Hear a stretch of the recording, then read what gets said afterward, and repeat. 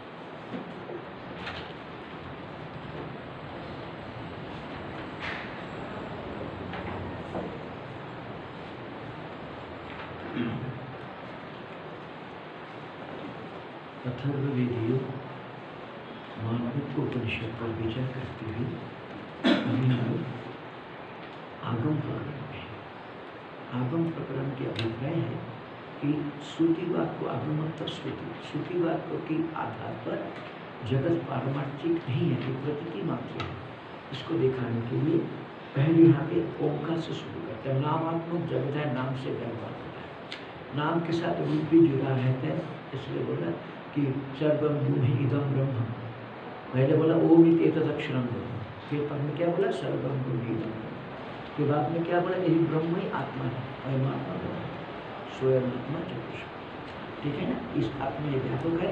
अब उत्तम अधिकारी के लिए इतना ही पर्याप्त था। परमात्मा ब्रह्म परंतु उत्तम से जो लोग इतने नहीं समझ पाएँगे, उसको थोड़ा विचार करके उस लक्ष्य तक पहुँचने के लिए फिर शुरू किया था स्वयं आत्मा चतुष्ट आत्मा में चार पाद की कल्पना की। जागृत स्वप्न सुषुप्ति तीन पाद है और तीन पाद में अनुश्रुत है परंतु उससे विलक्षण होने के कारण इसको चौथा रूप में कहा गया है। और यहाँ पे भगवान भाष्यकार इसका अर्थ करते समय क्या कहते कि पद्यते अनेन इति पाद। तीन पाद के ऊपर चल के जाया जाता है और चौथा पाद कहते हैं? पद्यते इति पाद जिसको प्राप्त किया जाता है। प्राप्त किया जाता है। इति पाद। तो इस अवस्था में तीन पैर के ऊपर चल करके, तीन पैर हो गया कि अगर आत्मा को ढूंढना है तो कहाँ ढूंढेंगे आप? गंगा जी में? अपने में। तो अपने के जितना अवस्था है, हम लोग रोज जो जितनी अवस्थाओं के बीच से गुजर रहे हैं, उस अवस्थाओं के बीच में ही वो छुपा है। उस अवस्थाओं के बीच में ही वो विद्यमान है। परंतु अवस्था से विलक्षण जिसके कारण परिवर्तन होता है परंतु जो किसी परिवर्तन में भाग नहीं लेता जो लोग केमिस्ट्री पढ़ते हैं, वो जानते हैं एक ऐसा इंग्रेडिएंट होता है कैटलिस्ट बोलते हैं उसको। वो एक समीकरण को इक्वेशन को केमिकल इक्वेशन को मतलब त्वरान्वित करने के लिए मदद करते हैं, परंतु इक्वेशन में भाग नहीं सारा क्रिया की होने के लिए जो मदद करते अंदर बैठ करके, परंतु के साथ इसका संबंध। इसलिए यहाँ पे जागृत स्वप्न तीन सुषुप्ति तीनों को दिखाया। तीनों दिखाने के बाद ये तीन जिसका ऊपर दिखाई दे रहा है। मैं यदि कहता हूँ आपको कि विश्व किसका नाम है तो क्या बोलेंगे आप? विश्व। विश्व किसका नाम जागृत चेतन। जागृत हाँ जागृत अभिमानी चेतन। परंतु व्यष्टि है कि समष्टि? व्यष्टि है ना? तो विश्व इस पिंड का नाम नहीं है।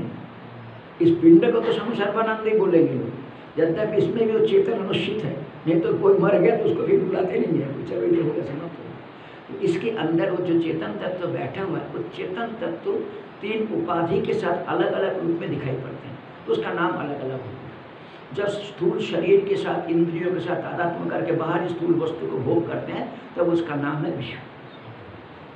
और वही जब स्थूल शरीर के साथ तादात्मता छोड़ करके, इंद्रियों के साथ तादात्मता छोड़ करके अपने मनोरज्य में विचरण करते हैं और सूक्ष्म भोग को भोगते हैं, प्रतिभाषिक भोग को भोगते हैं। प्रातिभाषिक वस्तुते व्यवहारिक भोग। समझ में आता है ये?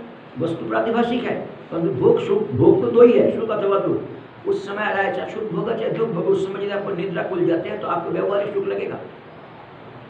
तो इस प्रकार से स्थिति में मतलब स्वप्न स्थिति में इसका जो व्यष्टि, उपहित और सूक्ष्म चेतन को बोलते हैं तेजस। ठीक है?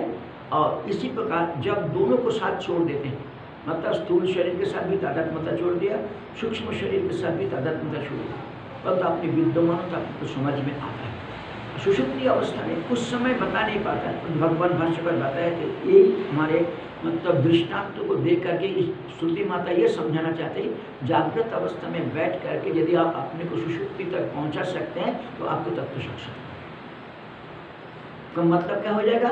उस समय आपको स्थूल शरीर, सूक्ष्म शरीर सब एक साथ तादात में छोड़ जाना चाहिए, परंतु तो अपनी अस्तित्व, जागृत अवस्था में बैठा हुआ है, अपने अस्तित्व, अपने अनुभव में आ गया। और वो अस्तित्व परिच्छिन्न अस्तित्व नहीं होता। परिच्छिन्नता तो व्यष्टि तादात्म होता कारण होता है। अदरवाइज़ आत्मा तो पूर्ण है व्यक्ति इसके बारे में श्रुति जो कह करके आया था, पहला छह मंत्रों के द्वारा, उसके ऊपर कारिकाकार ये बोलते हैं कि त्रिशु धामेशु भोक्तम भोक्ता जश्च प्रकृति वेद एतद उभयम जस्तु सभुंजान न लिप्यते बोला था? ये तीन धाम में जो भोक्ता है और जो भोग है, ये भोक्ता हो चाहे भोग हो, दोनों के अंदर एक ही चेतन विद्यमान है इस मैं ही शुद्ध चेतन रूपी तत्व मेरा स्वरूप है। उसी के कारण ये भोक्ता भोग को विभाजन दिखाई दे रहा है। ये जो समझ जाता है जो जिनको बुद्धि में बैठ जाता है? सब भुंजन नारी वो भोग के शब्द रहते हुए भी भोग के द्वारा ले पाए माने फिर शुद्ध सप्तम मंत्र में आके क्या करती है? नान्त प्रज्ञ, न भैष प्रज्ञ न भयत प्रज्ञ, न प्रज्ञान न प्राज्ञ न प्रज्ञ सारा निषेध कर देते हैं। वेदांत में मिथ्या की के आधार पर निर्णय करके कहते हैं, जो वस्तु जहाँ पे दिखाई देता है, अथवा जो वस्तु जहाँ पे प्रतीति हो रहा है, उस वस्तु को यदि वहीं पे निषेध हो जाता है तो उस वस्तु का मिथ्या कहते हैं। उस वस्तु का मिथ्या कहते हैं। प्रतिपन्न उपाधो त्रैकालिक निषेध प्रतियोगिता मिथ्या। जिस वस्तु जहाँ पे दिखाई दे रहा है, उसी स्थान में यदि उसको निषेध हो जाता है तो हमको उसको मिथ्या कहते हैं। तो फिर यहाँ पे क्या हो गई जागृत स्वप्न सुषुप्ति जिसके ऊपर दिखाई दे रहा है, उसको निषेध कर दिया। उसी स्थान में जिस चेतन के ऊपर। फिर क्या कहता है? वहाँ पे शांतम शिवम अद्वैतम। यही आपका पारमार्थिक शिव प्रपंचोपम शांतम शिवम अद्वैतम तुरीयम स आत्मा स विद्धि वही एक मंत्र जानने के ऊपर इस सप्तम मंत्र के ऊपर जो मांडू को कारिका मुख्य रूप से क्या दिखाया? कि स्वप्न की परिभाषा क्या है? जागृत की परिभाषा क्या है? इसको निद्रा स्वप्न शब्द की तरह कहा गया, इसको अग्रहण अन्यथा ग्रहण शब्द की तरह भी कहा कि अन्यथा गृहते स्वप्न, निद्रा तत्व अजान ठीक है ना? ये जो अधिष्ठान तत्व की मतलब वास्तविक वहाँ पे क्या घटना हुई, इसको नहीं जानने के कारण उसका जब अन्यथा रूप में कल्पना कर लेते हैं, यही हो गया, नहीं जानना हो गया अग्रहण। और उसके फलस्वरूप जो हमने अन्यथा ग्रहण किया, ये हो गया स्वप्न एक निद्रा, एक स्वप्न शब्द द्वारा बोलते हैं। विपर्यासे तयोर क्षीण। ये दोनों जो विपरीत ग्रहण है, इस विपरीत ग्रहण जब क्षय हो जाता है तुरीय तुरीय पद को, ये जो मतलब भेद रहित तत्व को आपको समझ में आ जाता है। ये कब होगा? बोलते हैं, जब अनादि माया सुप्त जदा जीव प्रबुद्ध अनादिकाल से ही माया निद्र मतलब वास्तविक तत्व तो संसार में क्या है? हमको नाम रूप आत्मा पूरा सृष्टि दिखाई पड़ रहा है, परंतु हम उतना मात्र को ही ग्रहण करते हैं। उसके अंदर जो सच्चिदानंद तत्व है, उसका हम ग्रहण नहीं कर पाते यही माया निद्रा, एक इस अग्रहण को ही माया निद्रा बोलते हैं। इस अनादि माया निद्रा में सोया हुआ जीव, जब वेदांत भाग को सुन चुन के वेदांत भाग को सुन चुन के माया निद्रा से जब जाते हैं। अनादि माया सुप्त जदा जीव प्रबुद्ध तब कहता है? अजम अनिद्र अशक्न अद्वैतम। एक तरफ़ अजम एक तरफ़ अद्वैतम। अब यहाँ पे निद्रा शब्द नहीं है। बुद्ध देते उस समय उसका बोध हो जाता है। उस समय बोध होता है। इतना कथन करने के बाद मध्यम अधिकारी के लिए विचार के रास्ते खोल दिए। मतलब श्रुति जानते सभी व्यक्ति के अंदर इतना योग्यता भी नहीं हो सकती ठीक है, इसके लिए अलग रास्ता बताए। तब क्या किया? ये उपासना की प्रकरण ये जो जीव की पाद है, जागृत, स्वप्न, सुषुप्ति इसी को ओंकार जो मात्रा है, उस ओंकार के अकार उकार और मकार मात्रा के साथ बोला कि दोनों के एकत्र के चिंतन जागृत हो गया ओंकार की अकार मात्रा, स्वप्न हो गया ओंकार की उकार मात्रा और सुषुप्ति हो गया ओंकार की मकार मात्रा। ठीक है ना? आप इस चिंतन के क्या करने के लिए बोला था? अब आपको वहाँ पे क्या बोला था? विश्वस्व अकार।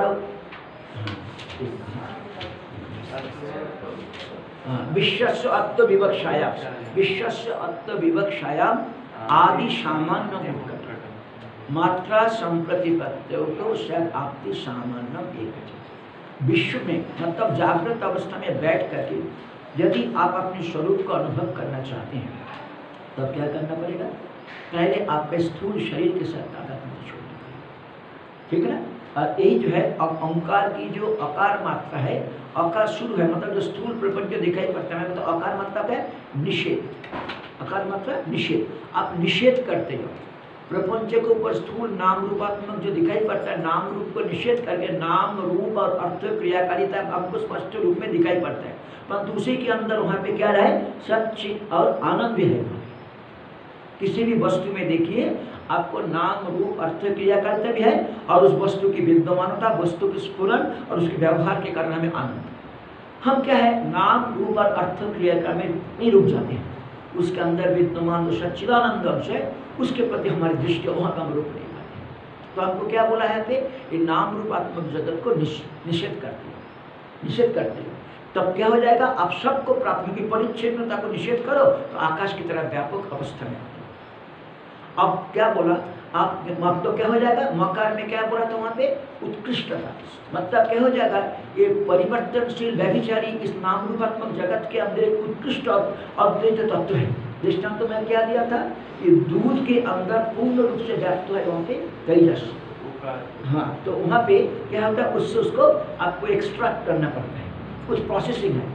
दूध में से घी निकालने के लिए धेर जमाना, मक्खन बनाना मट्ठा है। इसी प्रकार से यहाँ पे जो उकार और मतलब जागृत अवस्था में नाम रूपात्मक जगत दिखाई दे रहा है, उसके अंदर सच्चिदानंद छुपा हुआ है, उसको वहाँ से आपको अनुभव करने के लिए क्या करना पड़ेगा? निषेध करना पड़ेगा। तब अब एक उत्कृष्ट तत्व मतलब देखिए जिस प्रकार जैसे हम स्वप्नों देखते हैं, जागृत में जहाँ पे हमारा मन लगा हुआ है, उसी को हम स्वप्न देखते हैं। जागृत काल में ही यदि हम इस प्रकार विचार करते हुए ईश्वर की भगवान की अस्तित्व को स्पष्ट रूप से समझ पाते हैं तो उसके अंदर छुपा हुआ जो भगवान है उत्कृष्ट तत्व का आपको समझ पाता एक दिन चुपचाप सुबह से बैठ करके शाम तक देखना जितना इस शरीर के लिए आप, हम अपने शरीर को रक्षा करने के लिए काम करते हैं, इससे अधिक काम भगवान ने हमारे लिए करके रखा। भगवान ने हमारे लिए करके रखा। पूरा सृष्टि में उनका जो है कन कन उत्कट रूप से आपको समझ में आना चाहिए। स्फुटम स्पष्ट रूप में समझ माना चाहिए। मतलब ये जो है जागृत काल में जो भी वस्तु दिखाई दे रहा है इसके अंदर जो भी क्रिया हो रहा है उस क्रिया के अंदर से ही वो सच्चिदानंद को समझ। सत्यम। जब ये कर दिया तब उसके बाद क्या बोला? अब उसको समझ में आ जाएगा। परंतु उस भाव में विद्यमान रहने के लिए हमें क्या करना पड़ेगा? समान। हाँ उस भाव में मकार भाव प्राग्नस उस भाव में हमको रहना है। मकार जो क्या है? वो ईश्वर भाव उस मतलब उस व्यापकता समान यहाँ पे लय मतलब क्या हो जाएगा? अब क्या हो जाएगा ईश्वर तक उस मतलब जगत की अर्थ क्रियाकारित ईश्वर के माध्यम से दिखाई दे रहा था, वो भी लय होकर शुद्ध चेतन के भाव अब मकार मकार भावे प्राज्ञ मान सामान्य, मान मतलब क्या हो जाएगा? मेज़रमेंट आपने माप लिया, क्या माप लिया? ये जो जगत में नाम रूपात्मक जगत दिखाई दे, ये पारमार्थिक नहीं है, इसके अंदर सच्चिदानंद पारमार्थिक है। ये आपने माप लिया फल तो क्या हो जाएगा? नाम रूपात्मक जगत उस सच्चिदानंद में लय प्राप्त कर लय सामान्य में बताए यहाँ पे, ये तीन कारिका के माध्यम से मतलब ये जो है यद्यपि बोल रहे हैं अधमधिकारी परंतु अधम अधिकारी के काम नहीं है। ये मतलब अन्य अधिकारी के तुलना में उत्तम अधिकारी सुनते ही ज्ञान होता है, उससे तुलना में थोड़ा कम है। परंतु इतना इस प्रोसेस में यदि हम चल पाएँगे, तब क्या हो जाएगा? दत्त साक्षात्कार। तभी दत्त साक्षात्कार यहाँ तक हमने पढ़ लिए थे। हमने पूरा एक बार शुरू से शॉर्ट में दोहरा दिया। है ना? अब जो है, आगे क्या बोल रहे हैं? अब मन मन कालिका क्या करते हैं? जो चीज़ श्रुति में नहीं कहा गया है, उस छुपा हुआ अर्थ को कालिका का खोलते हैं। हमारे यहाँ एक नियम है। हमारे पर मतलब व्यवहार में हमें दिखाई पड़ते हैं।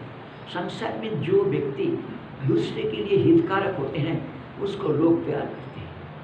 उसको लोग हैं यदि कोई भी व्यक्ति एक जगह पे भगवान के नाम पे जीता है और लोग में सर्वभूत हित रहता होकर के विद्यमान है। लोग स्वाभाविक उनके पास आएगा और स्वाभाविक पूज्य भी बन जाते वो पूज्यता प्राप्त करने के लिए ये नहीं किया, वो तो भगवत प्राप्ति के लिए किया, परंतु अपने आप ही ऐसा हो जाता है। मुंडक उपनिषद में आपका एक श्लोक आता है, यम यम लोकम मनसा संविभाति कामयति जंस कामा कामान। तम तम लोकम जयति तान स कामान, तस्मात आत्मज्ञम ही अर्चेत भूति कामा श्रुति बड़ी विचित्र है। श्रुति क्या बोलती है? साधु को तो बोलते हैं, तू जंगल में जा। तत्व पुनरण्यम इयातम तत्व पुनरिया अरण्यम और गृहस्थ को बोलते हैं आत्मगम्य अर्चय भूति का तुम यदि आश्चर्य को प्राप्त करना चाहते हो, तुम पुरुष के अर्चना करो और आत्मज्ञ पुरुष को क्या बोलते हैं? तू जंगल चल। छुट्टी होती है मैं अपने मन से नहीं बोलता। मतलब क्या? मतलब यदि तुम भूति अथवा ऐश्वर्य मतलब कि परम ऐश्वर्य को प्राप्त करना चाहते हो, तुमको जंगल तक पड़ेगा। जंगल मतलब ये शहर और जंगल, वो उसमें नहीं बोल रहे हैं। मन को बिल्कुल जंगल का मतलब स्त्री असंकीर्ण प्रदेश मतलब जहाँ पे कोई भीड़ मन को असंकीर्ण बना तभी जा करके आप ऐश्वर्य को अनुभव कर सकते हैं। यहाँ पे ये जो कोई भी व्यक्ति इस प्रकार साधन वचन करते हैं, चाहे छुप के भी करे, कहीं भी करे, परंतु लोक दृष्टि में आने पर लोग उसका श्रद्धा करते हैं, उसको अपने मतलब प्रत्येक व्यक्ति इतने चाहती है तो वो उनके सभी के दृष्टि में बंदनीय बन जाता है। इसको समझाने के लिए, क्योंकि ये जो है ना, ये स्तुति जो है, ये हमारे अंदर रुचि उत्पन्न करने के लिए। अज्ञान दशा में हमारी क्या कामना होती है? उत्तरेशना वित्तेशना लोकेशना। ठीक है भाई उत्तरेशना से तो हम ऊपर उठ गए। परंतु अभी भी वित्तेशना लोकेशना पूरा अंदर से चलेगा, नहीं बोल सकते। जीने के लिए अर्थ भी चाहिए और लोग हमको अच्छा बोलिए, कौन नहीं चाहते? सभी व्यक्ति यही चाहता है कि कम से कम ब- कोई हमको बुरा ना चाहे हम बुरा आचरण कभी कर भी दें, परंतु फिर भी हमारा ये तब छुपा के करते हैं, ताकि लोग जानना पाए हम स्तुति ये अभी उत्तरेशना वित्तेशना लोकेशना, तीन एक्शन ऊपर उठने के लिए हमको क्या करना पड़ते हैं? कि हम जो है एकांत में जाकर साधन भजन करते हैं। परंतु यदि आपको जीवन में कुछ भी ईश्वर संबंधित सफलता सत्ता दिखाई देने लग जाए, लोग आपका स्तुति करेंगे ही करेंगे। जब तक वो आपकी कामना नहीं है परंतु स्वाभाविक हो जाता है। इसको लेकर के देखिए, आज का होगा ट्वेंटी टू नंबर कारिका से, है ना? बाईस नंबर कारिका शुरू होगा आज। कारिका त्रिषु धाम सुजतुल्यम त्रिषु धामसु यत्तुल्यं सामान्यं वेत्ति निश्चितः। सामान्यं वेत्ति निश्चितः। स पूज्य सर्वभूतानां। सपूज्य सर्वभूतानां। बन्धश्चैव महामुनिः। बन्धश्चैव महामुनिः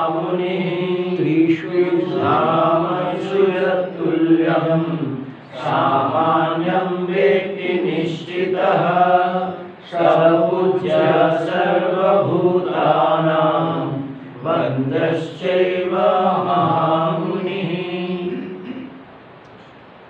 यहाँ पे ऊपर में व्यक्ति व्यक्ति कौन सा किस धातु का रूप है? वेद। धातु का है धातु का रूप है। सेकेंड कन अदाधिकरण के धातु है। तो थर्ड पर्सन सिंगुलर नंबर तो इसका अर्थ क्या जाएगा? वन हु नोज़ यहाँ पे ही को तर्क नहीं बोलेंगे। और यहाँ पे तो कोई पर्टिकुलर व्यक्ति को नहीं बोल रहे कोई भी व्यक्ति हो सकता है। वन हु नोज़ क्या जानते हैं वो? त्रिशु धाम धाम क्या कहे हमारे लिए? हाँ? जागृत स्वप्न सुषुप्ति ये धाम मीन्स योर एड्रेस प्रत्येक व्यक्ति का जनरली देखना आजकल एप्लीकेशन में एक टेम्पोररी एड्रेस परमानेंट आपका टेम्पोररी एड्रेस है परमानेंट एड्रेस क्या है?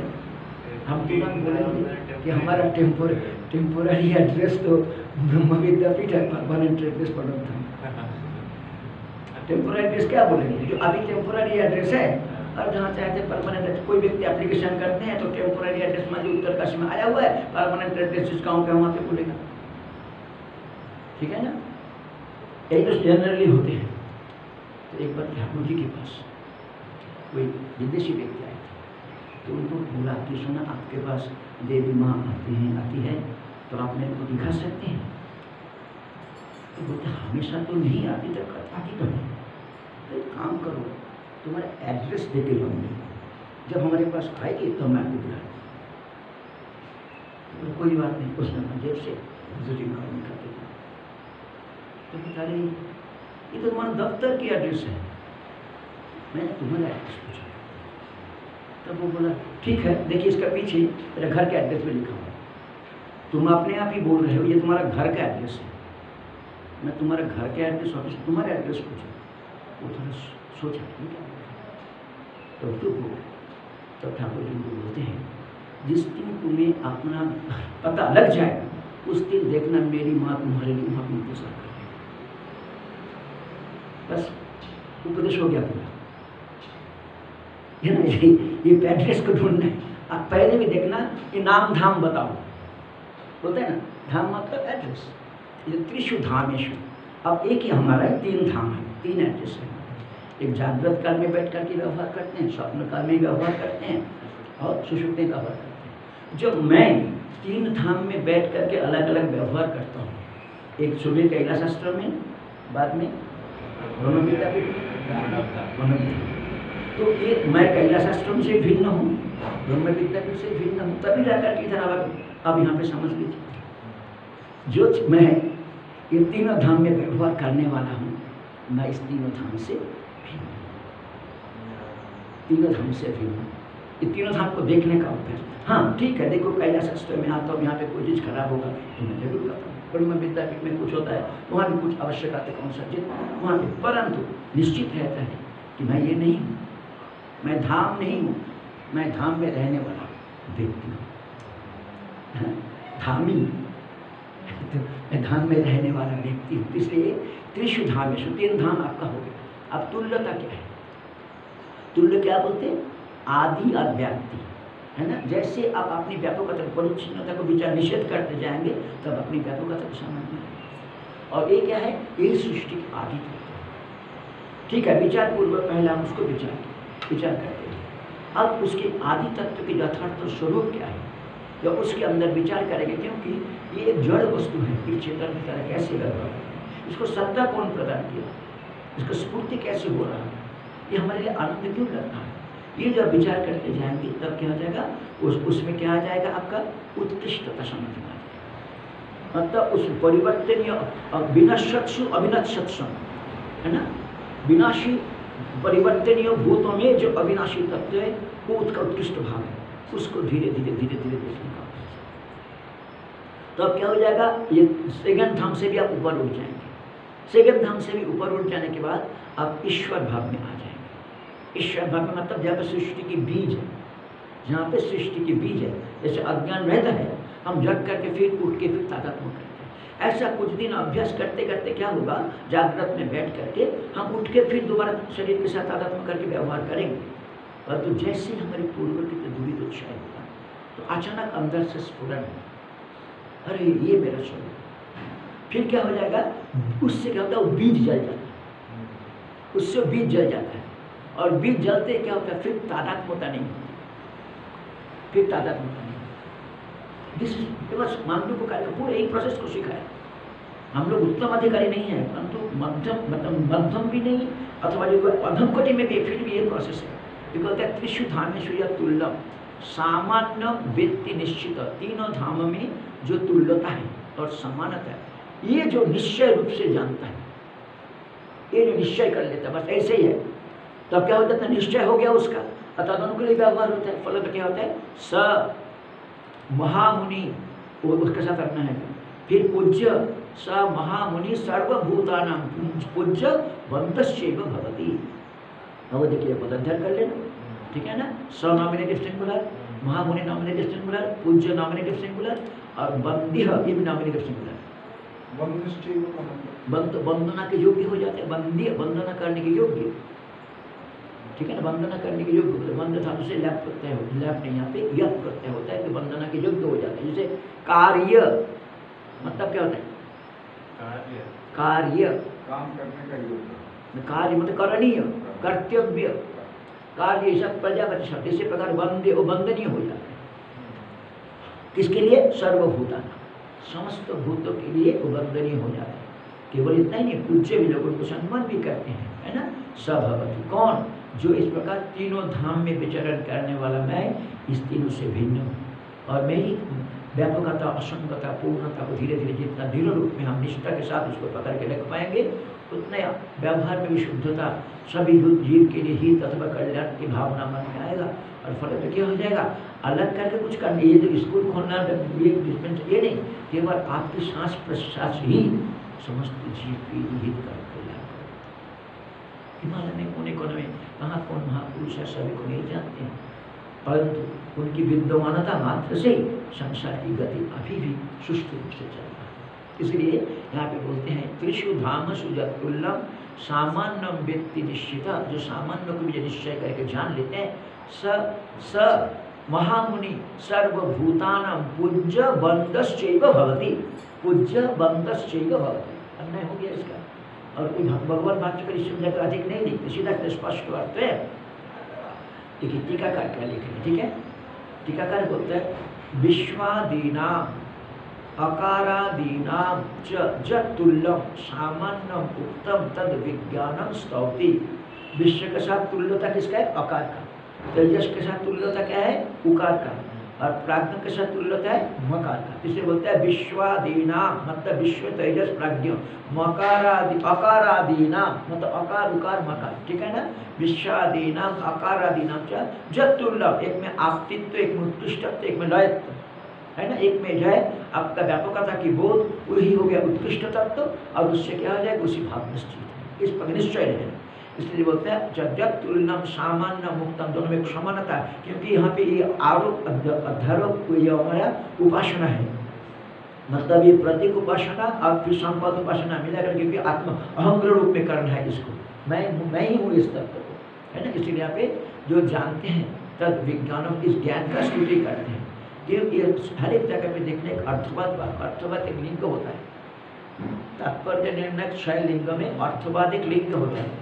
क्या है? उपशंकर अभ्यास अपूर्वता फलम, अर्थवाद उपपत्ति अर्थवाद एक लिंग होता है। अतः श्रुति जिस चीज़ को हमारे सामने विधान करना चाहते हैं, लोग की उसमें रुचि उत्पन्न हो, इसलिए क्या करते हैं? वो वहाँ पर स्तुति करते हैं। देखो, इसको करोगे तो ये फल प्राप्त होगा। ये नहीं कि फल प्राप्त नहीं होगा, फल प्राप्त भी होगा।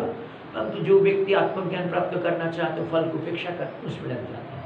और फल तो उसका अवान्तर रूप में उनके सामने आ ही जाता है। वो कहाँ, क्या करेगा उसको? तो यहाँ पे बोलते हैं त्रिशु धाम सुजतुल्लम प्रतीक हमको लगता है मूल का ही है। ठीक है ना? जो प्रतीक है त्रिशु धाम सुजतुल्लम सामान्यम व्यक्ति निश्चित सपूज्य सर्वभूतान बंध से मान यहाँ पे लिख रहे हैं। अच्छा भाष्यकार देखिए क्या बोलता है। जब स्थान त्रय, है ना? जो धाम है, तीन स्थान। जागृत, स्वप्न, सुषुप्ति, उसका मात्रा है अकार उकार और मकार। तुल्यम उक्तम जो समानता को कहा गया सामान्य व्यक्ति इस समानता को जो जानते हैं, एवं एवं ये ऐसा ही है, क्या जानना? ये ऐसा ही है। है ना? ये ऐसा है मतलब अकार उकार, मकार से भिन्न हमारा स्वरूप है। मतलब मन को लंबा समय तक एक विषय में लगा के रखने के लिए सूचने का रास्ता बताया और फिर क्या किया? इसको धीरे धीरे मकार तक पहुँचने के लिए आपको आकार को निषेध करना पड़ेगा। फिर सॉरी हाँ मतलब आकार का, उकार का दोनों को निषेध होकर के फिर मकार कोई बीज भी हमारे अंदर नहीं है। जब तक बीज रहेगा, तब तक हम उठ करके फिर शरीर के साथ तादात्म कर लेंगे। सुषुप्ति में जाते हैं तो उठ करके फिर तादात्म कर लेते हैं। परंतु यदि आप जागृत में बैठ करके धीरे धीरे धीरे सुषुप्ति में जाने का अभ्यास करेंगे, एक दिन में नहीं होगा, परंतु धीरे धीरे ऐसा होगा, एक समय मतलब ईश्वर कृपा से अपना पूर्वकृत दूरी तो क्षय होने पर ही क्या होता है अपने आप से पूरा हो जाता है। इसलिए बोलता है यथत्व स्थान त्रय तुल्यम उक्तम सामान्यम व्यक्ति। वो इस प्रकार मतलब तुल्यता समानता को जानते हैं। एवं एवं एतत् ये वस्तु ऐसा ही है इति निश्चित ज। देखिए एक ज शब्द ऊपर अध्ययन किया ना? ऊपर में व्यक्ति का कर्ता कौन हो गया? जह हुएवर ही में भी जो एक प्रसिद्धि का बोधक है मतलब जिस किसी भी हो जाए उससे कोई हमारा ये नहीं है। किसी अवस्था में भी हो सकते हैं। जो। क्योंकि पूर्व जन्म के तो सुकृति हो तो थोड़ा सा करने से हो जाता है सपूज्य बंधश्च। और फिर वहाँ पे महामुनि शब्द उनसे भी होता है, बंध भी, इसका कोई अर्थ नहीं करता है। प्रत्येक महामुनि शब्द आया है, उसको भगवान भाष्यकर नहीं लिखते, ब्रह्मविद लोके भगवत महामुनि, यही हमारी महा, मननशीलता, मननाथ मुनि। और महामुनि मतलब क्या हो जाएगा? हमेशा उस भाव में रहते ये क्या कौन हो सकता है? वो तत्व को जानने से ही होता है ब्रह्मविद। अपने को व्यापकता में जान लिया, लोके भवती। इस व्यावहारिक लोग ने उस स्थिति को प्राप्त कर अच्छा अब टीकाकार देखिए क्या बोलते हैं। जतक्त स्थान त्रयम भगवान क्या बोला? जतक्त स्थान त्रय। तो कौन तीन स्थान हो गया? जागृतम स्वप्न इति। तृतयम ये तीन। अच्छा फिर स्वप्न, सुषुप्ति से मतलब चकार के द्वारा सुषुप्ति का ग्रहण हो जाएगा। त्रितयम तुल्यम पादाना मात्रा तीन पाद के साथ तीन मात्रा की समानता है। ये जो जानता है। ये जो जानते हैं है ना ये त्रितयम तुल्यम ये तीनों बराबर है। तीन पाद और तीन मात्रा में कोई भिन्नता नहीं है। इस प्रकार लंबा समय तक अथवा अपनी निष्ठा के अनुसार जैसा दृढ़ता के अंदर आप उसको पकड़ते जाएँगे और इन प्रक्रिया के यहाँ पे निषेध करना है। अकाल में कुछ दिन अभ्यास करने के बाद क्योंकि आप देखेंगे प्रश्नोपनिषद में भी वहाँ पे क्या हुआ कि एक मात्रा की उपासना, दो मात्रा की उपासना, तीन मात्रा की उपासना लिखा है प्रश्न प्रश्न पूछा है। कि आप जीवन के अंतिम समय तक जो ओंकार की उपासना करते हो, किस लोग की प्राप्त करते हैं? एक तत्व सत्य काम परम च परम च ब्रह्म।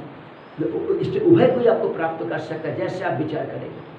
उस ओंकार पे अवलंबन में यदि आप निर्गुण, निराकार, निर्विशेष के चिंतन करते हो, उसको भी प्राप्त करेंगे सगुण, सकार का चिंतन करते सगुण, गुण भी प्राप्त करेंगे। यदि इस शरीर को रहते रहते ज्ञान हो गया तो यहीं से मुक्त हो जाएँगे, नहीं होगा तो ब्रह्म लोक में जाके क्रम मुक्ति होगा। इतना भिन्न है। तो यहाँ पे बोलते हैं, जो इस प्रकार जानते हैं ज स पूज्य वंदस्य ब्रह्मविद लोके, वो क्या होता है? ब्रह्मविद इस लोक में पूज्य और वंदनीय हो जाते हैं। यथक्तम स्थान त्रयम जागृतम स्वप्नम च त्रितय में तीन ही तुल्यम किसका तुल्यता है? पादानाम मात्रा नाम पाद किसका है? जीव का है।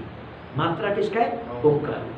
एक नाम और एक नाम इस रूप से ना च इति शेष है, इसके अंदर जोड़ना उक्त सामान्यम, आपती, उत्कर्ष, मिति इत्यादि हो गया तुल्यता है किसका? पाद और मात्रा का। मतलब में फिर श्लोक में क्या बोलता है? सामान्यम। सामान्यता क्या देखिए, ये जो उक्तम सामान्य सामान्य क्या है? जागृत में भी हमें आपने को व्यापक समझा। और ये क्या है? उपरिच्छिन्नता के अंदर से हम आप उत्कृष्टता व्यापक को पकड़ लिया। और फिर व्यापक को पकड़ने बाद क्या है? नाम रूप के साथ उसमें लय कर दिया। तो तीन चीज़ यहाँ पे इसलिए बोलते हैं, सामान्य। क्या चीज़? कहाँ पे? कहाँ पे ज़ोर दिया? देखिए, सामान्यता में। एक में क्या हुआ था? आपको आदि। आदि तो छोड़ दिया। आदि जिनको सृष्टि स्थिति लय इसी पे होता है वेदांत हमारे यहाँ पे तो सृष्टि स्थिति लय दिखाएँगे नहीं। तो विवर्त बात है। मुख्य रूप से क्या है? कि इसमें क्या है? आपकी, अपनी परिच्छिन्नता को छोड़ कर सभी में मैं ही विद्यमान एक फिर यही हो जाएगा आपका परिच्छिन्न नाम रूप पे अंदर उत्कृष्ट तत्व। इसलिए आपने बोला, आपकी उत्कर्ष। ठीक है ना? जैसे दूध के अंदर जो व्यक्ति जानता है कि इसके अंदर घी विद्यमान है, वो उसका उत्कृष्ट दृष्टि है। और मिति मिति क्या हो जाता है? फिर उसमें वो लय प्राप्त कर माप लेते हैं, समझ जाता है कि ये जो पारमार्थिक वस्तु नहीं है। लय कर इसलिए इत्यादि जो सामान्य रूप चिंतन करते हुए वो अपने स्वरूप को निश्चय कर लेता है। वो क्या होता है? वो महामुनि। उनके मनन का ही फल है ये। मनन करते करते, चिंतन करते करते, विचार करते करते क्या होता है? एक समय वो महामुनि बन जाता है। है ना? बस मनन उसी भाव में विद्यमान रहता है। महामुनि इति अस अर्थम है जो मना महामुनि का अर्थ भगवान भाष्यकार क्या बोल दिया? ब्रह्म भी योगी। ठीक है ना? सामान्य अर्थ है, कुछ यहाँ पे विशेषता नहीं है, परंतु क्या करना है? और ये करने से कहाँ तक हम पहुँचेंगे? यहाँ पे टीका का मतलब मांडव को कार्य का स्पष्ट अब महामुनि तो ब्रह्मवीद लोके हाँ अस्मिन लोके क्योंकि जब तक जीवन मुक्त स्थिति है तब तक तो ब्रह्मवेद तो महामुनि के रूप में जाएँगे बंधनीय भी होते हैं पूज्य भी होते हैं। मरने के बाद अधिक बंधनीय होते हैं। जागृत बात जीवित अवस्था में उतना नहीं होता बाद में पता लगता है। अच्छा अब जो है ये मान लीजिए आपका पूरा नहीं कर पाए किसी कारण बस प्रारब्धों की बस सोच सकते हैं तो अपनी अपनी साधना की कमी के कारण। अकाल की चिंतन करते हुए यदि शरीर हो, फिर भी ये बिठा नहीं जाएगा। भगवान श्री कृष्ण क्या बोलते हैं? स्वल्पम अपि अस्य धर्मस्य त्रायते महतो भया नेहाभिक्रम नाश अस्थि प्रत्यवाय न विद्यते। इसका अभिक्रमण नाश शुरू किया अब पूरा नहीं हो पाया तो जितना किया वो बेकार हो गया ऐसा नहीं होगा। प्रत्यवाय मतलब प्रत्यवाय मतलब पाप पाप। जैसे आपका नित्य कर्म करना है। और नित्य कर्म नहीं किया तो आपको प्रत्यवाय पाप लगता है। परंतु यह भी मान लीजिए करते करते आपने नहीं कर पाया तो आपका पाप भी नहीं लगेगा। नेहाभिक्रम नाश अस्ति जितना किया उसका नाश नहीं होगा। और करते करते यदि आप पूरा नहीं कर पाया तो आपको पाप भी नहीं लगेगा। और तद विपरीत स्वल्पम अपि अस्य धर्मस्य त्रायते महतो भय। यदि थोड़ा सा भी आप इस आचरण कर पाएँगे, महान भय से मुक्त हो जाता है। जन्म मृत्यु के चक्र यही तो महान भय है। सभी व्यक्ति कि ये किससे डरते हो? मृत्यु से डरते हैं। सबसे बड़ा भाई भैया सभी व्यक्ति का। इसीलिए तो कितना अपने को प्रोटेक्ट करने के लिए कपड़ा, मकान, दुकान ये सब जितना फैसिलिटीज़ किसके लिए? मृत्यु से हम बचे दवाई क्यों खाते हैं? मृत्यु है। बस इसलिए ही मृत्यु भय मतलब भवरोग भवव्याधि से उद्धार करने के लिए ये स्वल्पम अप्यस्य धर्म यहाँ पे भी ऐसा ही बोल रहे हैं। मान लीजिए आप पूरा नहीं कर पाए तो क्या आपके साधन बेकार जाएगा? नहीं। वहाँ पे मतलब भी बोला वहाँ पे क्या है, अकार के द्वारा ऋचा इस लोक में उस व्यक्ति को प्रतिष्ठित कर देते हैं। यदि आप दो मात्रा करेंगे अकार उकार के द्वारा फिर यजुर्वेद के द्वारा आपको क्या होता है कि यहाँ पे सोमलोक में उद्धित करे जाते हैं। फिर यदि आप तीन मात्रा अलग करेंगे तो ब्रह्मलोक तक चले जाते हैं। सोमलोक में तो स्वर्ग आदि दो सोम बात करते हैं। ऐसा वहाँ पे कहा गया किसमें? मुंडक उपनिषद में। ना प्रश्नोपनिषद पंचम प्रश्न सत्य काम भी प्रश्न पूछा था। उसमें यहाँ भी देखिए ऐसे ही बोल रहे हैं कि आपको तीन अलग अलग उपासना का ये फल निष्काम व्यक्ति का ये फल अभिप्राय नहीं है। यदि आप निष्काम भाव से करेंगे तो आप कहाँ पहुँचेंगे? वो भी यहाँ पे बोलते हैं। वो भी यहाँ पे बोलते हैं। अकारो नयते विश्वम। अकारो नयते विश्वम्। उकारश्चापि तेजसम्। उकारश्चापि तेजसम्। मकारश्च पुनः प्राज्ञम्। मकारश्च पुनः प्राज्ञम्। नामात्रे विद्यते गतिः। नामात्रे विद्यते गतिः। अकारो नयते विश्वम् उकारश्चापि तेजसम् मकारश्च पुनः प्राज्ञम्। नामात्रे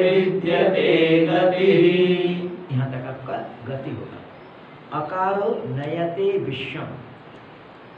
ये नी धातु कौन पद में चलता है?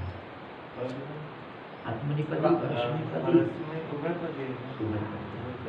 उभय पद था बिल्कुल सही बोला परंतु यहाँ पे आत्मनिपदी में क्यों प्रयोग किया? वहाँ पे हाँ। स्वयं को फल लाभ इस उपासना का फल इस चिंतन का फल व्यक्ति अपने आप स्वयं प्राप्त करता है। फल आत्मगामी है। इसलिए नयत का अध्ययन समझेगा देखिए थोड़ा थोड़ा भी व्याकरण जानने से आपका, देखिए, अभिप्रेत तत्व समझ जाएगा मीन्स ये आपका, आप अनुभव करें मतलब ये आपके लिए माइंड स्टोन है। देखो, ऐसा दृष्टि रखते जाओ, आपकी ये स्थिति प्राप्त हो तो अकार के चिंतन अधिक देर तक लगातार करने पर क्या होता है? अब विश्व भाव को मतलब क्या हो जाएगा? स्थूल विराट पुरुष के साथ आप एकत्रित ठीक है, स्थूल है, परंतु क्या है? व्यापक आता है। पहले एक परिच्छिन्नता चला जाएगा। मैं इतना मात्र नहीं हूँ। मैं ही पूर्ण संसार हूँ। स्थूल रूप जो भी कुछ दिखाई तो क्या हो जाएगा स्थूल वस्तु की चाहने की जो इच्छा, यदि हमको पता लग जाए कि गंगोत्री में जो भी वस्तु विद्यमान है, वो नहीं हूँ तो फिर गंगोत्री जाने की इच्छा धीरे धीरे कम संसार में भोग को वस्तु व्यक्ति भोग कर उसके पास जो है, अरे, मैं ही तो भोग कर हूँ शरीर मैं ही तो विराट इस प्रकार से जैसे चिंतन आता जाएगा, उसी प्रकार बाहरी वस्तु की प्राप्ति की इच्छा कम हो जाती है। फिर आप क्या होता है व्यापकता स्थूल व्यापकता के साथ यदि आप मान लीजिए इस अवस्था में भी शरीर छूट गया, फिर भी आपका परिच्छिन्न भाव पे चला गया, भोग को वस्तु आपका भोग ही। अब इसके आगे, यदि आप इसके अंदर से उत्कृष्ट वस्तु को आप निकाल पाए, साधन करते करते कुछ दिन में आपको इसके अंदर उत्कृष्टता क्या? सारा नाम रूप अर्थ क्रिया करता दिखाई दे रहा है, इसके अंदर अच्छा चीज़ क्या है? ये भाव से जब चिंतन करेंगे, तब क्या हो जाएगा? उसी के अंदर अपरिवर्तनीय सच्चिद अंश को दिखाई देगा एक सत्य तो है है घट है पट है मठ है टेबल है चेयर है बुक पुस्तक है स्टैंड है। ये सब आप हटा दीजिए घट पट मठ पुस्तक स्टैंड हटा करके।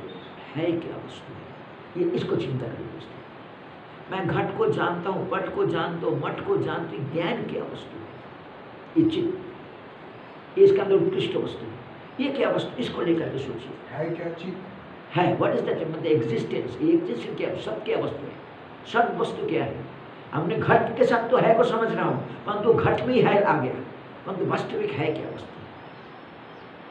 घट है को छोड़ करके नहीं रह सकता है, परंतु है घट को छोड़ करके रह सकता है। ये चीज़ को धीरे धीरे समझ में आने क्योंकि सभी के अंदर घट, पट मठ सभी के अंदर है दिखाई दे रहा है। मतलब नाम रूप व्यभिचार करते जा रहे हैं मतलब व्यभिचार में तत्व जो है, पर है, वो आपको धीरे धीरे समझ में जैसे आप अपनी व्यापकता में पहुँच करके उसके अंदर से उत्कृष्ट वस्तु को ग्रहण करने की सामर्थ्य आ जाएगा, तब अब क्या हो जाएगा? अपनी सत्ता संबंध शुद्ध सत्ता की निश्चय होगा। इस समय सत्ता का निश्चय शरीर के साथ। उस समय क्या हो जाएगा? शुद्ध सत्ता का निश्चय होगा। और शुद्ध सत्ता का स्फुरन होता है आपको। मैं हूँ। इस मैं हूँ के लिए मैं किसी को पूछता भी नहीं। हूँ चाहे कितना भी अंधेरा हो गई बिल्कुल नया स्थान हो, आँख, नाक नाक सब बंद है। कुछ भी नहीं दिखाई दे रहा है। घोर अंधेरा है। फिर भी अपनी अस्तित्व अपने को समझ में आता है। ये स्फुरन होता। है ये मकार की उत्कृष्टता है। ये मकार की उत्कृष्टता है। इस प्रकार से क्या हो जाएगा कि जो इस प्रकार जो है अकार भाव को छोड़ करके फिर उत्कृष्ट तत्व को चिंतन करता है वो तेजस मतलब स्वयं प्रकाश के साथ धीरे धीरे एक होने लगता है ये उकार हो तेजस उकार। उकार उकार उकार के साथ। फिर उसके बाद क्या हो जाएगा कि ये जो आपको विषय रूप में समझ में आ रहा था विषय रूप से हटाना है। अपने अस्तित्व को समझना है मतलब यहाँ पे बीज अवस्था अभी तक नहीं गई, क्योंकि मैं ठीक है, व्यापक हूँ और मैं असचित रूप हूँ, परंतु उठ करके फिर व्यवहारिक जगत में व्यवहार करते समय फिर शरीर में तादात्मता हो। जाए कुछ दिन होगा ऐसा, कोई फ़र्क नहीं पड़ता, कोई फ़र्क नहीं पड़ता। परंतु धीरे धीरे धीरे धीरे जैसे ही आप मकान, जो भी कुछ आपको नाम रूपात्मक जगत को मकान में लय करके, विषय सेट करके शुद्ध अपने अस्तित्व को जो है, विषय रूप में नहीं पहले तो विषय रूप में ध्यान करोगे, फिर विषय रूप में नहीं। केवल अस्तित्व को, क्या वस्तु है? ये समझने की कोशिश करो तब आप मकार स्थिति में आ जाए मकर, परंतु अभी भी आपको बीज नाश नहीं होगा क्योंकि फिर उठ करके आपको हत्या करनी एक समय आएगा नहीं, फिर रुकने दे। नामात्रे विद्यते गति। फिर जब इस मकार भी अपने आप चला जाएगा मतलब जहाँ पे बीज है, बीज होने के कारण फिर हम उठ करके ये वस्तु आदि दिखाई पड़ते सत्य भी भावत है। परंतु जैसे ही वो बीज नाश हो जाएगा, बीज नाश क्या हो जाएगा? फिर एक समय जो अज्ञान के कारण हम अपने परीक्षण को, वो अपने आप चिंतन करते करते व्यापकता के भाव में निश्चय होकर के क्या होता है? जिसे ज्ञान आप सर्व कारण ज्ञान क्या करते हैं? कि ये अज्ञान को नाश करके ही उत्पन्न होते हैं। विद्या, अविद्या की विरोधी वस्तु से उसको नाश करके उत्पन्न होगा इस भाव में जब पहुंचाएँगे तब आपको वहाँ पे तो पहले आकार क्या है होता? आपको विराट भाव को प्राप्त करेगा अब तेजस आपको हिरण्य तक ले जाए और मकान में आप क्या हो जाएगा? ठीक है, ईश्वर के साथ साहित्य लाभ करेंगे। परंतु यदि इस, इसको सारा मात्रा को हटा सकते हैं आप तब क्या हो जाएगा? कोई गति आगति नामात्रे विद्यते गति, है ना? जहाँ पे आपका कोई मात्रा नहीं रहेगा, है ना? इसलिए तुरीय कोई मात्रा नहीं अकार उकार मकार तो मात्रा है। तुरीय क्या है? कोई मात्रा नहीं है। तुरीय केवल मात्र उसके अंदर रहते हुए भी उससे विलक्षण होने के कारण उसका चौथा ऐसा कहा जाता है। मान जैसे बोल सकते हैं और है है आनंद है बोल सकते हैं। बोल सकते हैं। तो वहाँ केवल शुद्ध आनंद भी रहे। और क्या हो जाएगा कि आपका शुद्ध स्थूल आपका अस्तित्व समझ में व्यापक अस्तित्व समझ में आ जाएगा। मकार में आकर के क्या हो जाएगा? आपका अस्तित्व का स्फुरन स्पष्ट होने लग जाएगा।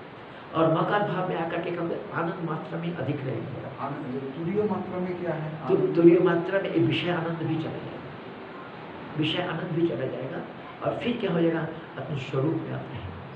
और जो आप जो स्वरूप का आनंद है ही तब आपको विषय आनंद के बिना भी एक जो भाई भूमा तत्सुख वो जो व्यापकता की पूर्णता की जो आनंद है वो रहेगा परंतु किसी को समझा नहीं पाएगा। वो क्या क्योंकि वो विषय रूप में नहीं है।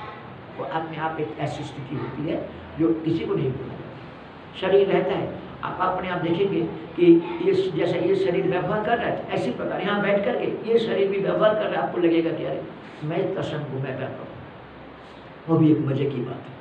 एक अद्भुत जैसे तो ऐसे यहाँ पे बोल रहे हैं कि अकार नयते विश्वम उकार तेजसम अकार क्या है? आपको विराट भाव तक पहुँचा है। मतलब उसका अनुभव है फिर उकार में आप क्या हो जाएगा? आप अपनी चेतनता के साथ अपने को अनुभव करेगा और मकार में क्या हो जाएगा कि बीज है परंतु आनंद भाव में है। फिर क्या हो जाएगा कि ये विषयात्मक आनंद भी आपको हाँ मात्रा नहीं है जहाँ पे अकार उकार मकार मात्रा तीनों मात्रा जहाँ पे चला जाएगा वहाँ पे क्या हो जाएगा?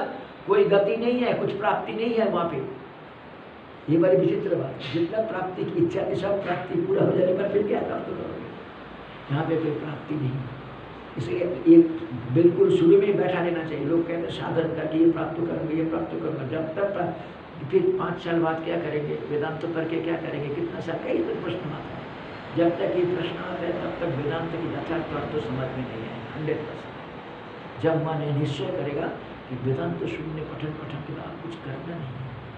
सारा करना समाप्त होकर ही ज्ञान करने का जो भाव होता है ना, वो समाप्त होकर ही ज्ञान होता है। यदि महत ज्ञान, ज्ञानी पुरुष के शरीर से कुछ क्रिया होता है, उनके अंदर वो कर्तृत्व की भाव कभी भी नहीं होता से नामात्रे विद्यते, गति है ना, परंतु मात्रा रहित अवस्था में आ जाने पर फिर कोई गति आगति नहीं, गति आगति अब यहाँ पे देखो टीकाकार क्या बोलते हैं, पूर्वक्त सामान्य ज्ञानवत ध्यान निष्ठस्थ फल विभागम दर्शयति।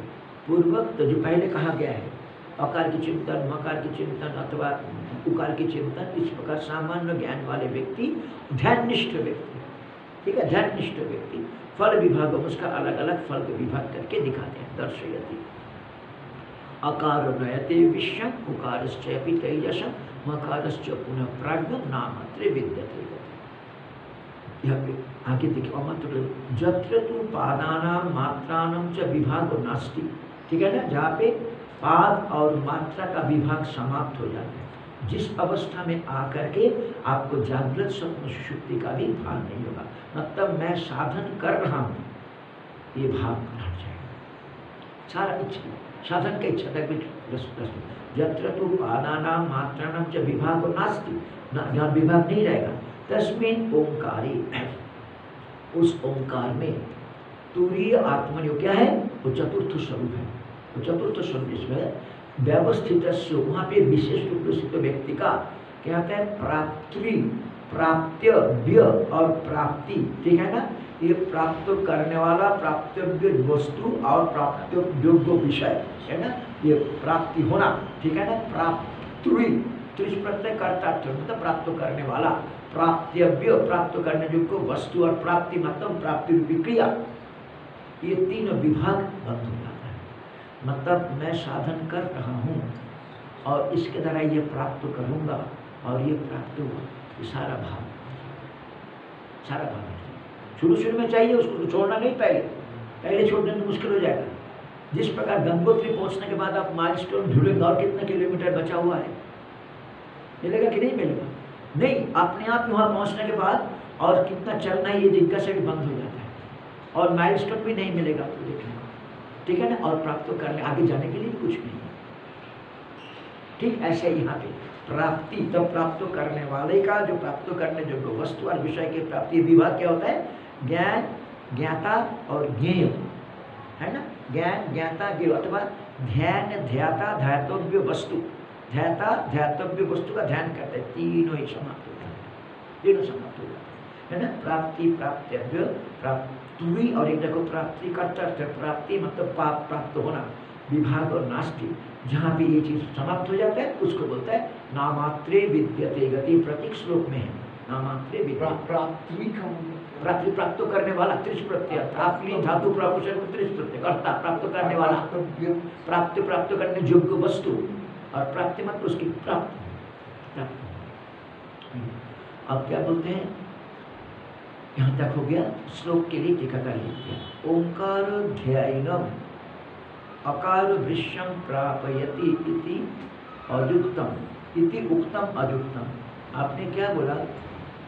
ओंकार ओंकार ध्यानम ओंकार को ध्यान करने वाला आकार क्या करते हैं? विश्व अवस्था को प्राप्त कराते हैं। विश्वम प्रापयति इति उक्तम। ये जो आपने कहा ना, ये युक्त संगत नहीं है।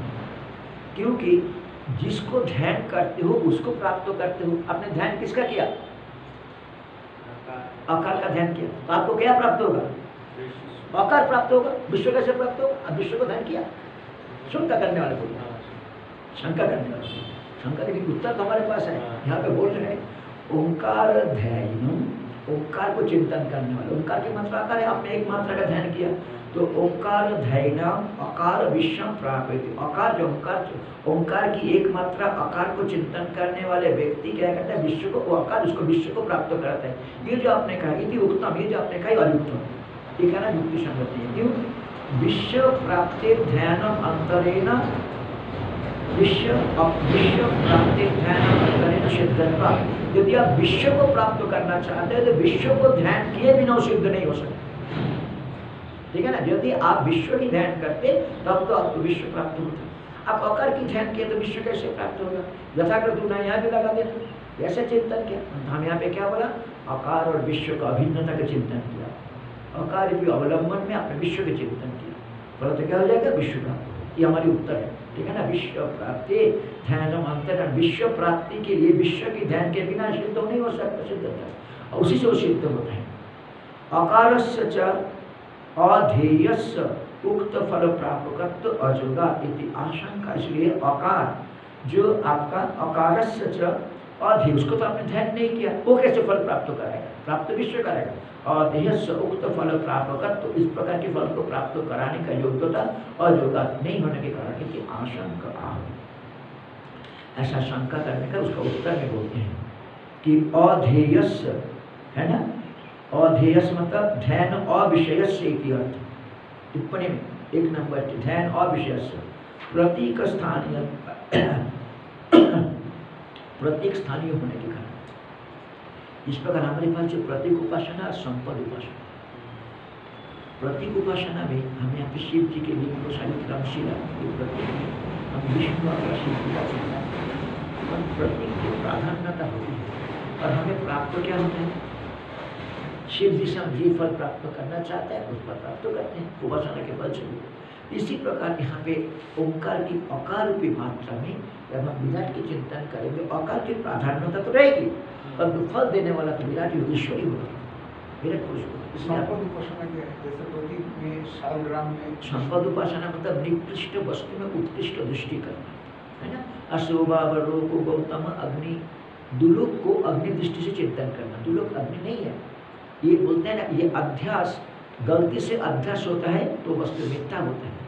और ये अध्यास उपासना हम जानबूझ के करते हैं अध्यास ये अध्यास उपासना बोलते हैं इसको। एक किसी प्रतीक उपासना अध्यास उपासना का दो भाग है। एक प्रतीक उपासना एक संपद उपासना। महाराज ये जो शालग्राम में विष्णु को जो चिंता कर रहे हैं ये भी तो निकृष्ट वस्तु में उत्कृष्ट वस्तु का चिंता कर रहे इसको भी तो संपद ना परंतु यहाँ पे क्या होता है शालिग्राम को प्राधान्यता रहता है। शिवलिंग की प्राधान्यता रहता है। और उसमें क्या होता है, संपद उपासना क्या होता है, जिसको संपादन करते हैं, उसकी प्राधान्यता होती है यहाँ पे हम इसको नहीं छोड़ सकते। इसको रोज आके इसी को पूजा करेंगे, इसी को देंगे, शरीर को स्नाएँगे चंदन लगेंगे, टीका लगेंगे, तुलसी देंगे तो शिव जी को बिल्लो पत्र देंगे, इसकी प्रार्थना और फल इसी के माध्यम से शिव जी देते हैं भगवान विष्णु देते हैं। यहाँ पे ये बोलते हैं कि अकारस्य च अधेयस्य उक्त फल प्राप्त अजोगात इति आशंक आह। इसको संकट करते हुए क्या बोलते हैं? अकार नयते विश्व अकार जो है ना, क्योंकि उसी का अवलंबन में विश्व का चिंतन कर रहे थे। जिस प्रकार आपने शिवलिंग के अवलंबन में शिव जी का चिंतन करते हैं। तो आपको शिवलोक तो प्राप्त हो ही जाएगा। शिवलोक की प्राप्ति हो ही जाएगी। शिव जी से जो फल प्रार्थना करेंगे, वो भी आपको प्राप्त हो जाएगा। इसलिए बोलते हैं अकार से अधेय से उक्त फल प्राप्त करते अजोगा इसको तो युक्ति संगत नहीं होता है ऐसा आशंका करके क्या कहते हैं? अकारो नयते विश्वम प्राप्त आकार विश्व को प्राप्त कराते हैं। तद आलम्बनम तद प्रधान मिति जाने जो आगे लिखा ना, अकार आलम्बनम, ओंकारम, विज्ञान वैश्वानर भवती इति अर्थ। ठीक है ना? अकार रूपी आलंबन में ओंकार को चिंत उपासना करने वाले व्यक्ति का विराट भाव को प्राप्त कर जाते भवती तो उसी को यहाँ पे देखिए जो आलंबन शब्द आया हुआ है ना तो टीका का लिखते हैं तद आलंबन मतलब तद प्रधान मिति जाने मतलब अकार में प्राधान्यता दिया ओंकार के चिंतन कर रहे हैं तो अकार की प्राधान्यता है। इस प्रश्न अकार प्रधानम ओंकारम ध्यायतो, यथा वैश्वानर प्राप्ति, तथा उकार प्रधानम तमेव ध्यायते तेजस से हिरण्य गर्भस्व प्राप्ति भवती आह। ठीक है ना? जिस प्रकार आपने अकार मात्रा में प्राधान्यता दिया तो उसमें आपको यदि इस समय में शरीर छूट जाता है तो आप उससे अगर शरीर की तरफ़ है आप आकाश उठाना ला सकते हैं। सूक्ष्म वस्तु, सूक्ष्म शरीर को देखने की अभ्यास करते हैं। तब क्या हो जाएगा? सूक्ष्म शरीर आपके सामने दृश्य हो जाएगा। मैं उसका भिन्न दृष्टा हूँ। और यही जो है मतलब हमारा ओंकार की मकार मात्रा। उत्कृष्ट वस्तु को, सूक्ष्म सूक्ष्म सूक्ष्म शरीर के अंदर तन्मात्रा तन्मात्रा से पृथक में इस प्रकार से समझना।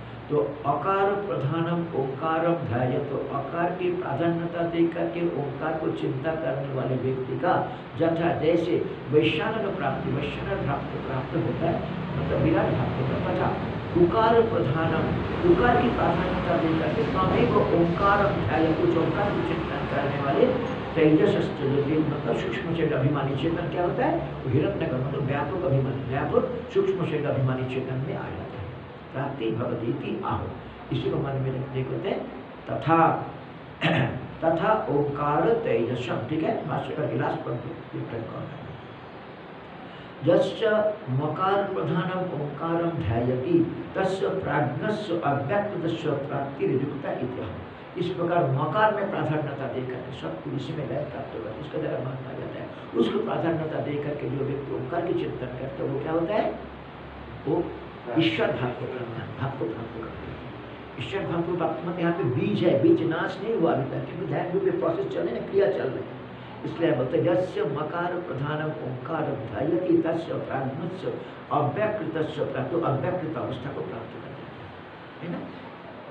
दो नंबर टिप्पणी रहेगी हाँ। दो नंबर टिप्पणी। देखिए अकार प्रधानमिति मुखादि प्राधान्येन देह पूजावत। अकारादि प्राधान्येन ओंकार ध्यानम इति अवधेयम अच्छा मान लीजिए, आप जो है, देवी को लाया पूजा करने को तो देवी को श्रृंगार करते हैं तो अधिक श्रृंगार कहाँ करते हैं?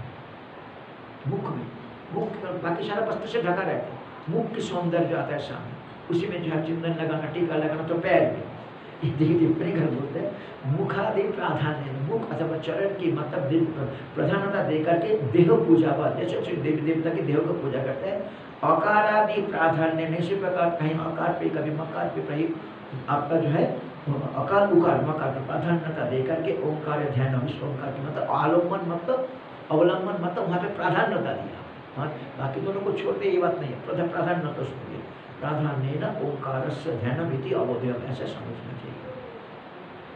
तब वहाँ पे बोलते हैं धोखा नहीं, पूरा समय हो गया और नहीं पे रखते हैं। यश मकार प्रधानम ओंकार धयति, तस्य प्रार्थनस्य अव्यक्त, तस्य तत्ति मकारस्य अपि पुनः प्राज्ञ च शब्द नयति इति अनुवर्तते। वहाँ पे वहाँ पे यहाँ पे मकारस्य अपि पुनः प्राज्ञ च शब्द च कहाँ पे आया आपको? ये जो मकारस्य भाष्य कारिका में। मकारस्य पुनः प्राज्ञ, ठीक है ना? ये मकार जो है प्राज्ञ रूप को प्राप्त कराता है चकार के तक नयते का अनुवृत्ति हो।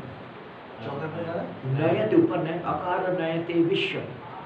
तो नयते का अनुवृत्ति आएगा चकार के है ना? ठीक है आज कौन सा होगा? दूसरा वाला? कि पहला वाला? पहले ही करते हैं। ठीक है अजम अपि योगं प्रापरैश्वर्ययोगा भगति गतिमग्नापरेकं विविधविषयधर्मग्राहिमुक्तेषणानां प्रणतभयविहन्त्रे ब्रह्मयब्दन्नतोऽस्मि यो